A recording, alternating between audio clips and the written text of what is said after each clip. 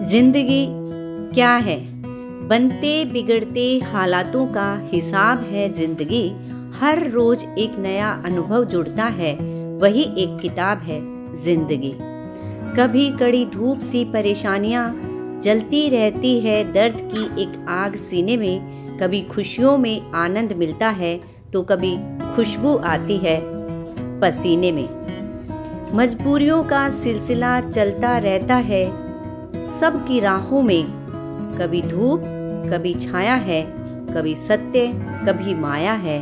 बीत रही इस ज़िंदगी का राज किसने पाया है?